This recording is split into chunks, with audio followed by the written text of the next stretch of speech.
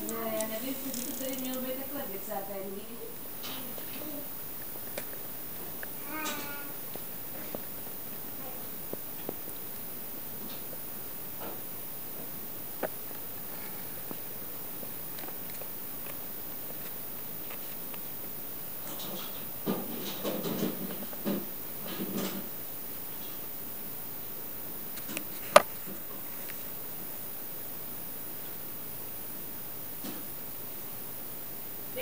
procurou para ti?